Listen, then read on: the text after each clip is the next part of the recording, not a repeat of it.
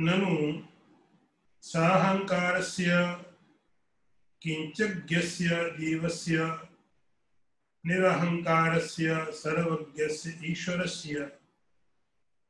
तत्त्वमसि इति महावाक्यात् कथम् अभेदबुद्धिः स्यात्? उभयोः विरुद्धधर्म आक्रान्तत्वात् इति चेत् न। The translation is, but the jiva is endowed with ego and its knowledge is limited, whereas Ishvara is without ego and is omniscient, then how can they be identical as stated in the Mahavakya Tattvamasi, that thou art, and between these two there is there are contradictory characteristics.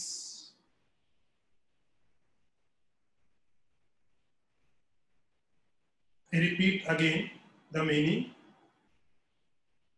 But the jiva is endowed with ego and its knowledge is limited, whereas Ishvara is without ego and is omniscient. Then how can they be identical? As stated in the Mahavakya Tattvamasi, that thou art. And between these two, there are contradictory characteristics.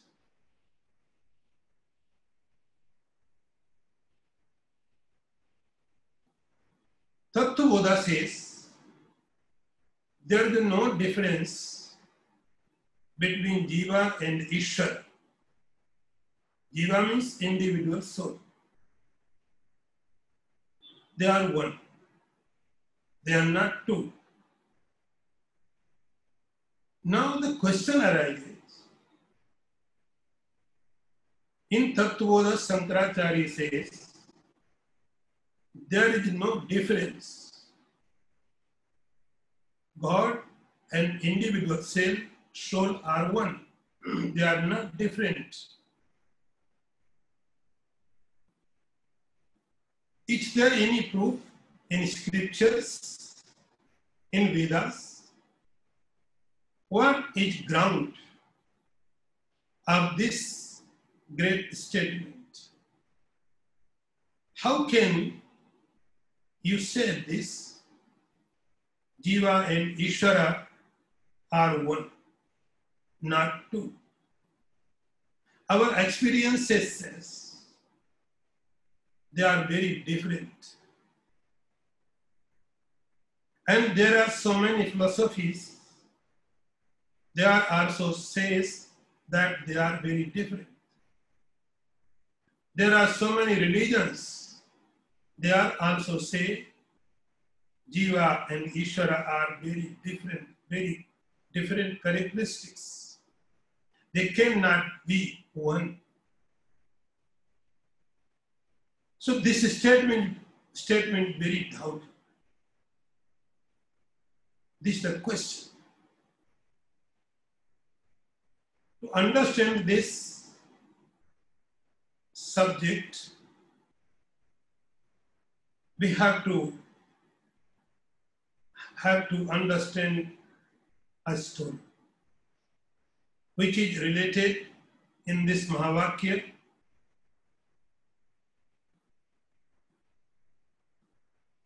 Once upon a time, there was a prominent Rishi family. This was the family of Aruni and his son Uddalak and his son Shwetketu. So three generations. Three generations.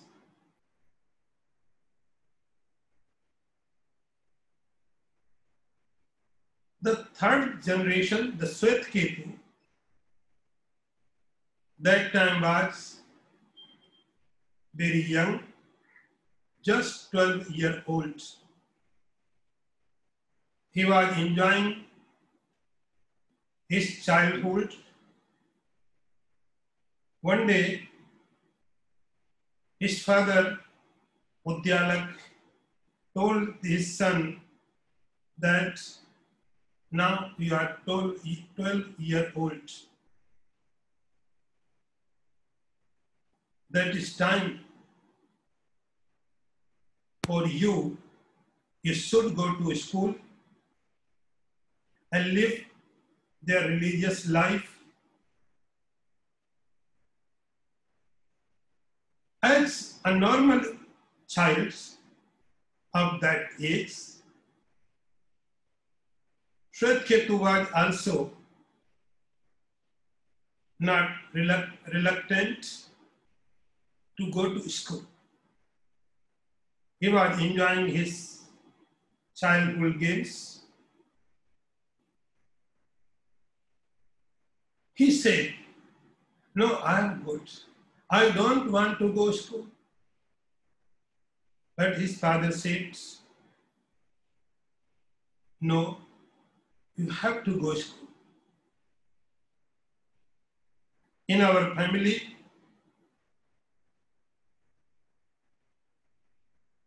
there is no any person who, who is unlearned in our family, anyone not uneducated. We are a great family, learned,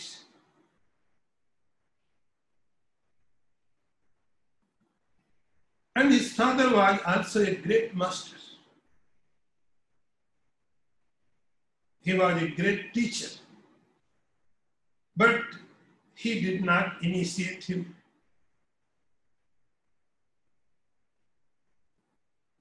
He did not initiate him because in this system, in this education, the most important part is discipline. Discipline makes disciple.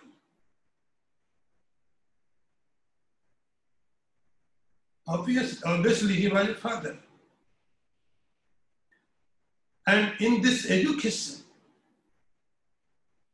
the master should be very strict.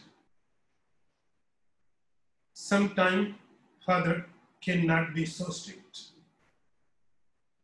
That is why he thought he should go to school. Finally, Shwetketu was ready to go to school. He, his father said, I know my friends, he had a big Gurukul. You go there. Shwetketu went.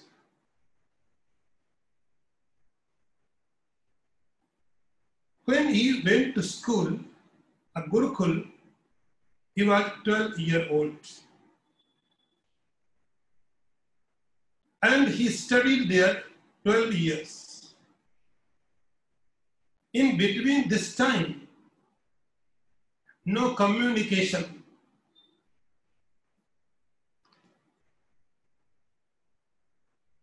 No communication. He did not come back for a summer vacation or any vacation. And his father also did not go to his school to meet him. So no communication, just study, study, study. 12 years passed. He became a learned person. He became a great master. He studied all, all scriptures in front of his master. So after having completed his studies, he returned to her father, his father. Now he is 24.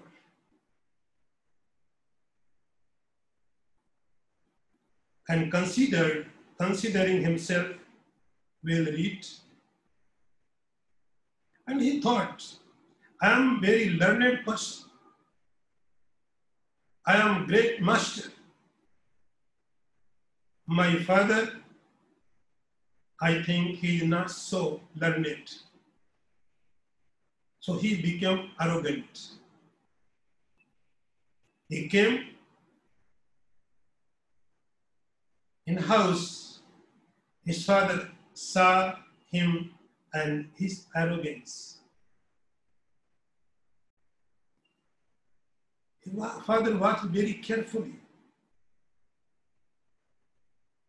He want proper development of his son, which has not happened. He studied scriptures, but the result of the study is not see in his face. So father was very brilliant, very learned, great master. Now he can understand that. Now he can follow me. He is used to discipleship. So I can now discipline him. He required little push. So father said him, Ketu, you are a learned person, will read my dear, have you heard? Have you asked Deva for that instructions? Ketu asked which instructions? The father said, by knowing one, everything unknown becomes known.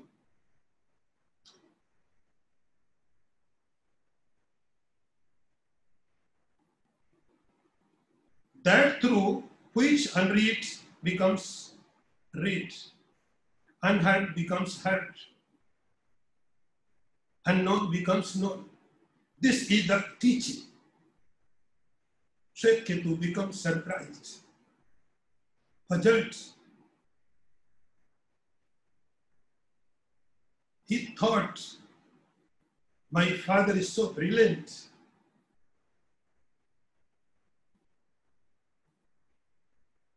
And he asked his father, No, father, I don't know. And I think this is not possible. This is not possible. The father said, Yes, this is the last teaching. These are the last instructions. And then he started giving lessons. A great stoicism.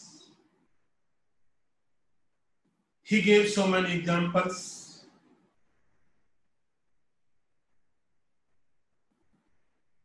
And lastly, finally, he says, Tvamasi, the great sentence. Shwet Ketu said, Father, I think my teacher did not know that.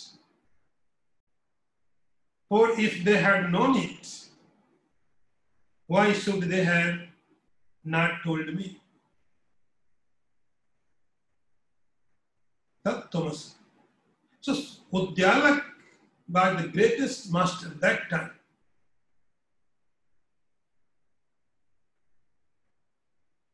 And he gave the message Tattvamasi. You are the Brahman. You are the soul. You are the consciousness. You are the supreme. You are the absolute. You are not conditioned in the body. You are not only limited soul, you are the absolute. Tattvamasi.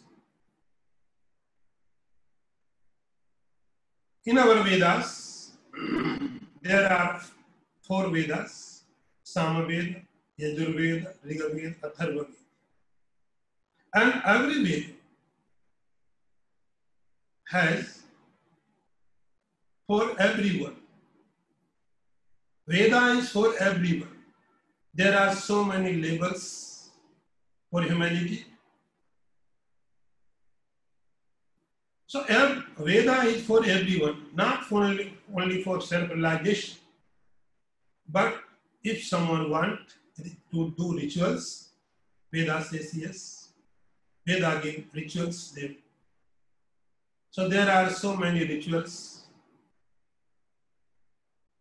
The next part of the Vedas is Upasana, devotion. The second level.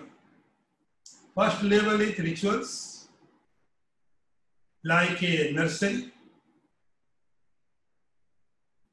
Then next level is upasana, devotion.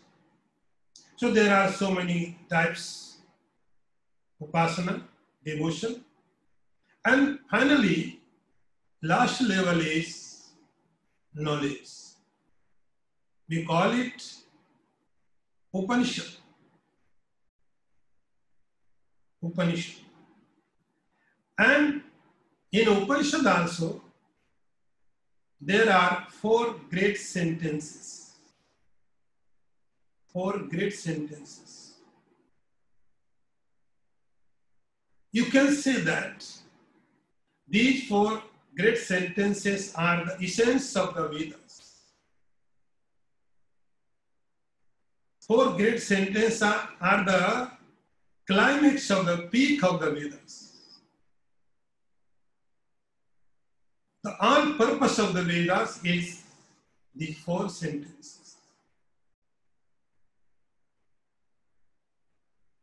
Here, we are thinking about Tattvamasi. This is also great sentence, Mahavakya. It came, it comes in Chandogya Upanishad. It is Samaveda Upanishad. Tat Thomas. Now we think, why are they great sentences? What is greatness of them? Great, greatest son, greatest. They are so small. Tattvamasi, Aham Brahmasmi, Jnanam Brahma, ayam Atma Brahma. They are so small, but they are Mahavakya great sentences. What is their greatness? They are very small only three words tat tam so there is no greatness in the sentence, in the words. The greatness is in the meanings. Meaning, they carry the greatest meaning of the word. That thou art Tat Tvamasi. The sentence carry the sentence had greatest meaning of the word. Now, we understand, we try to understand what is the meaning. Jiva and Ishvara, individual soul and collective soul. First, we understand, let's understand what is Jiva is. There are so many concepts about Jiva. All religions have faith in Jiva. Some believe in God, some does not believe in God. Undoubtedly, all religions believe in Jiva, individual soul. Because if there is no Jiva, no individual soul, no conditioned soul, then religion is not possible. Religious teachings is not possible without Jiva.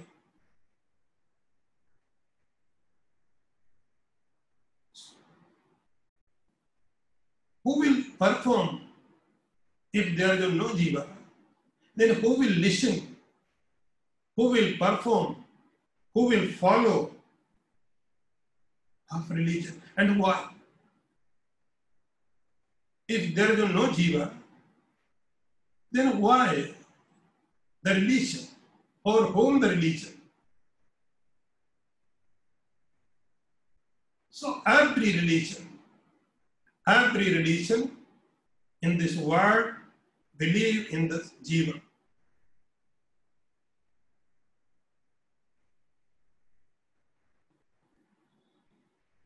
They would be different, differ. The definition of the Jiva. different opinion. But Jiva is must. Some may say that Jiva is inside in the heart, in the brain, in the here, in there, in the eye. What the size of the Jiva? There may be differences, but every religion, every religion accept that inside body there must be some consciousness who operates mind, who operates organ of perception, who operates organ of actions, inner instrument. Because of Jiva, body's inner organs like heart, lungs, liver, all are working. In presence of Jiva, in presence of Jiva, all organs are working. The body is working mind working for whom? Only for Jiva.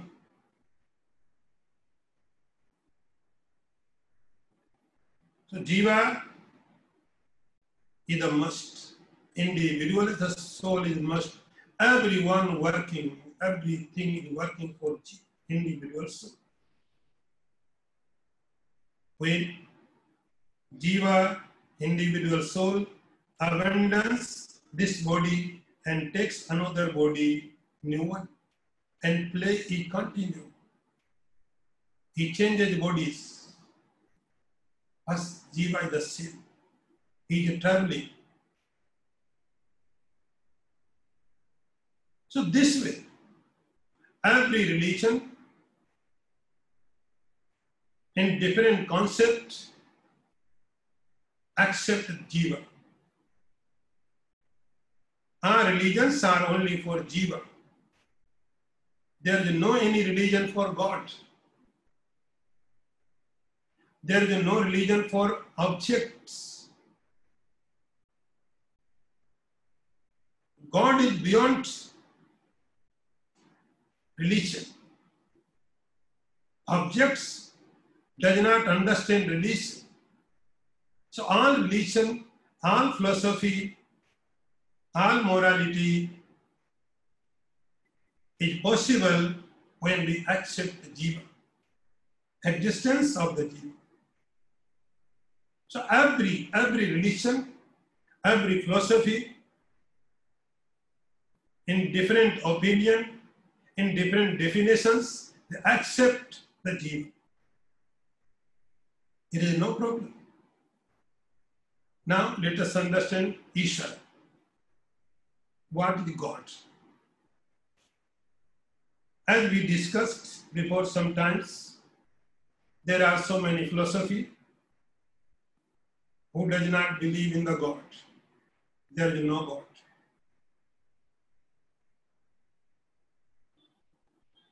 No God. No collective soul. But among us of some believe in the God also. There are so many religions, so logics to believe in God,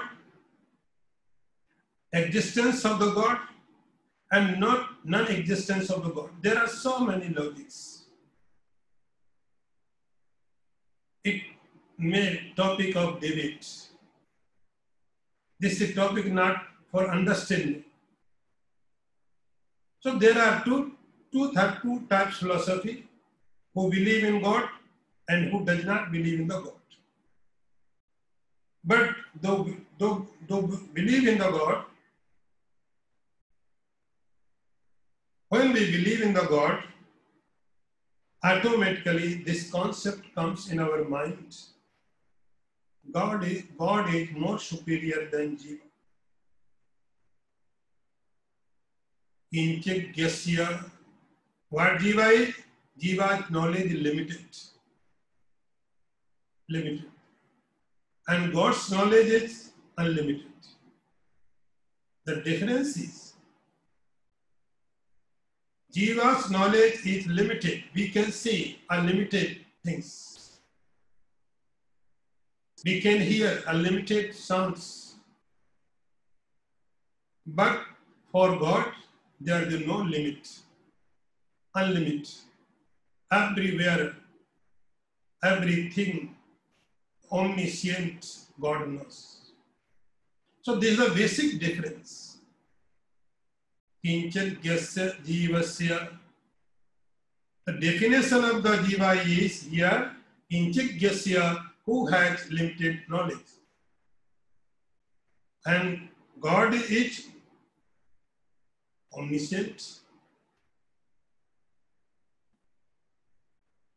Gyasya.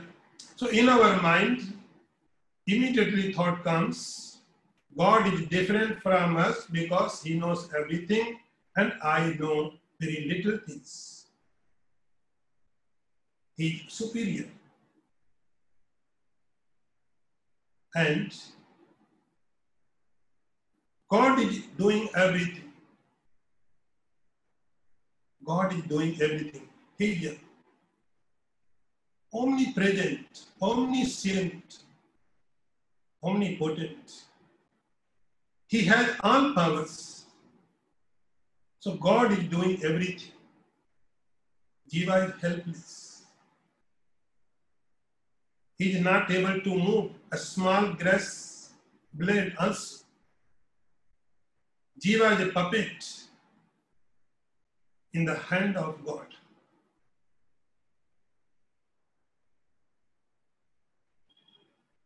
God is controller. Jiva is controlled. Very difference. And there are so many controversies. This is not topic here. But some philosophy says Jiva cannot do anything. God does everything. God does everything. But the very basic difference is God is everywhere. He can do anything. But Jiva is nothing. He cannot do anything. So there are so many theories. Jiva's duty is do action.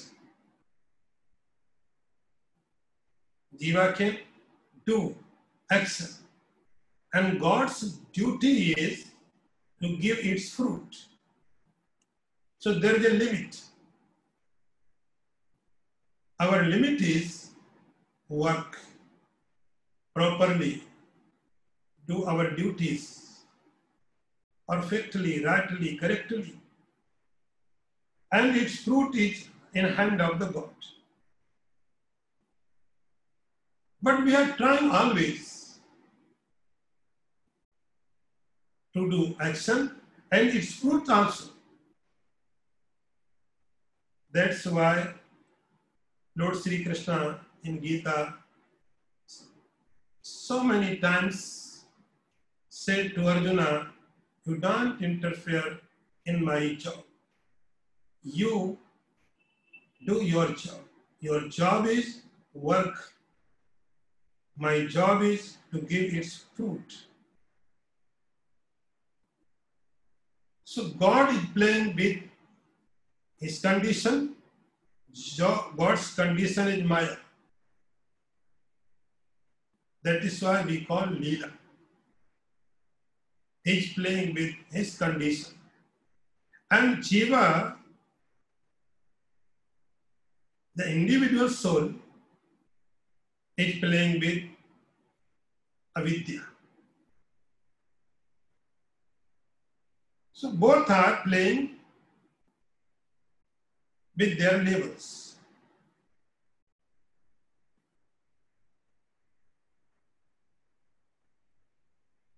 So this is a God. This is small introduction. Jiva is limited. God is unlimited. Jiva is controlled. God is controller. Jiva's condition is avidya. God's condition is maya. So they looks very different. They looks very appears very differently.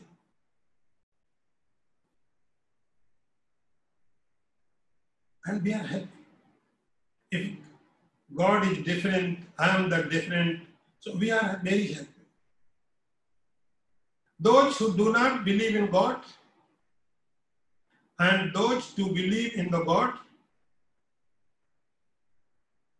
there is no much difference. Because the concept of the gods, we have the concept of the God is not much meaningful. We are here in this earth, in this world, and God is somewhere else in heaven, in Vaikunt, Kailas. I am here. This thought of duality does not make differences in our lives. So much difference. I am here in this earth. God is somewhere else. We don't know where. How much distance in which look he's sitting, he's watching. We don't know difference we don't know distance.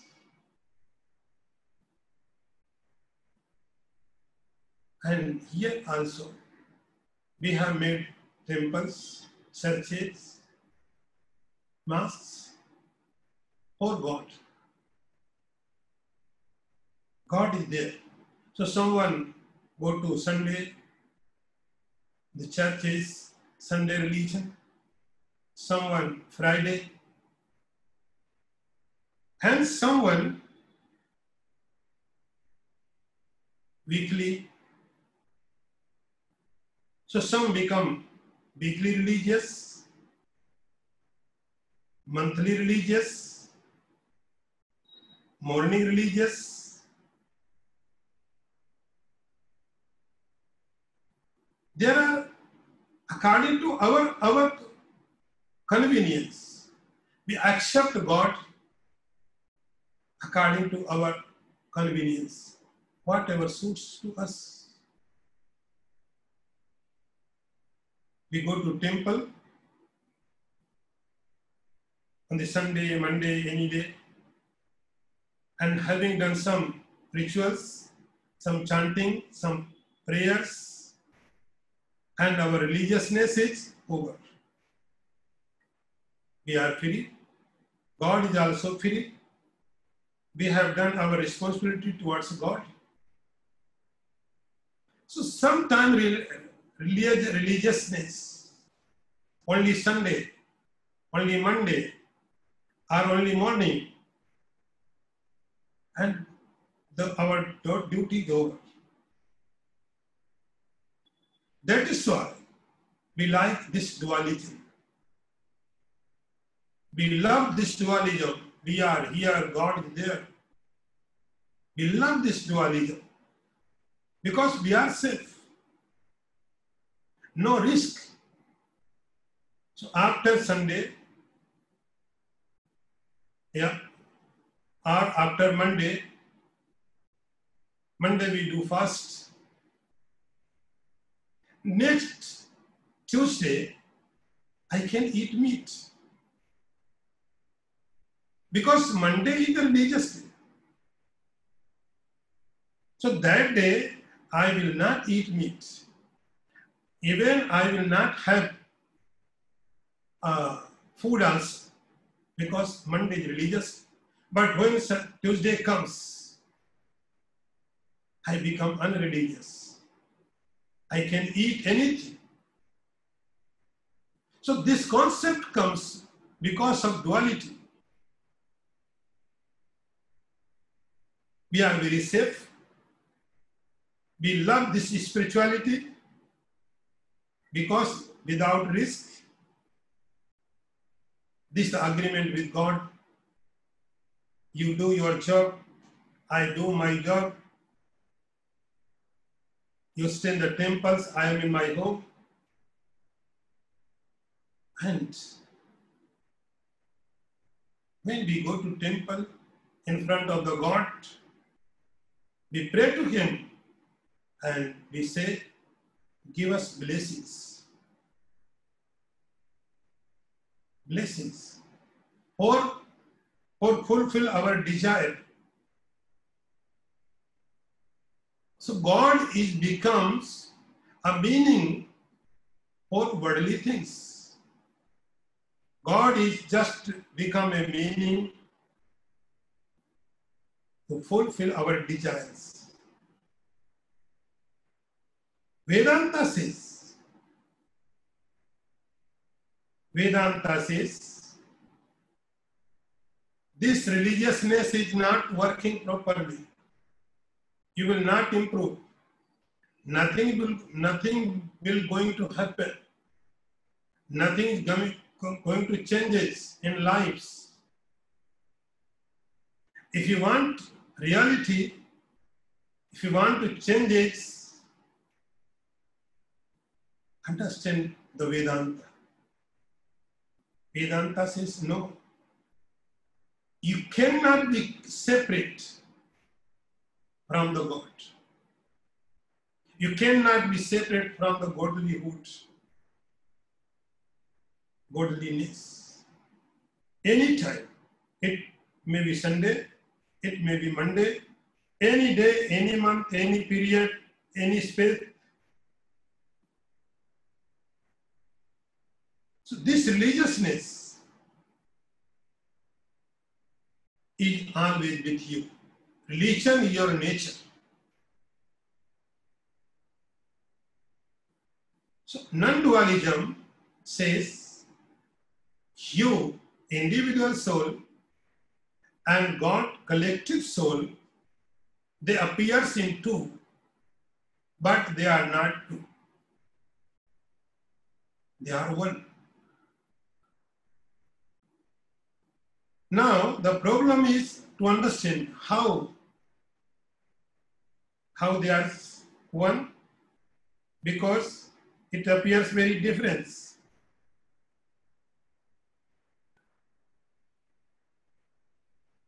They are not same. So Vedanta says we have to understand upadhi. अविद्या उपाधि सन। आत्मा जीवा उच्यते, माया उपाधि सन। ईश्वर उच्यते। एवं सर्वज्ञत्व विशिष्ट ईश्वर, तत्पदवाच्यार्थ उपाधि शून्यम शुद्ध चैतन्यम तत्पद लक्ष्यार्थ न स्थूल सूक्ष्म शरीराभिमानी तम पदवाच्यार्थ, उपाधि निरमुक्तम। समाधि दशा संपन्नम शुद्धम चैतन्यम पद लक्षण। स्थूल सूक्ष्म शरीराभिमानी तम पद लक्षार्थ। No it is not so as we see they are different there characters are different तत्व दासेस no it is not so the literal meaning of the word दाओ is the one who identify himself the gross and subtle body, the impiled meaning of the word thou is pure awareness which is free from all conditioning and which is appreciated in the state of samadhi. Now, Ishvara evam सर्वज्ञत्वादि विशिष्ट ईश्वर तत्पदवाच्यार्थ उपाधि शून्यम शुद्ध चैतन्यम तत्पद लक्ष्यार्थ So also the literal meaning of the word that is the Ishvara having consciousness, etc. The implied meaning of the word that is the pure awareness free of all conditions. एवं जीव ईश्वरयो चैतन्य रूपेण भेदे भेद का भाव thus there is no contradiction regarding the identity between Jiva and Ishvara from the standpoint of the awareness.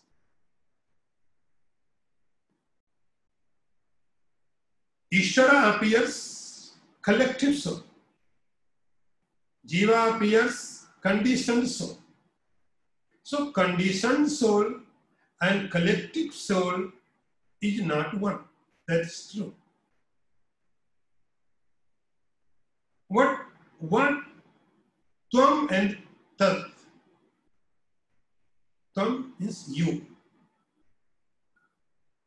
Uddalak says to Shwet Ketu, you and God is one. So you means what? The literally meaning is you embodied, embodied consciousness.